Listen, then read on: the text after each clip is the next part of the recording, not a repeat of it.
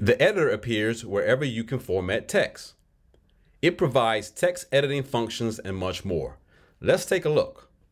Use the options in the editor to add headings, format text, and add tables. Select the list icon to add numbered and bullet list. To insert links, images, videos, and other media, select the plus icon. Select the icon for the content type you want to add, paste the URL, add alternative text, and then select Insert.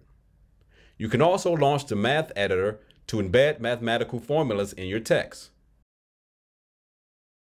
And finally, you can upload files from your computer or add additional content such as YouTube videos or other files from your cloud storage.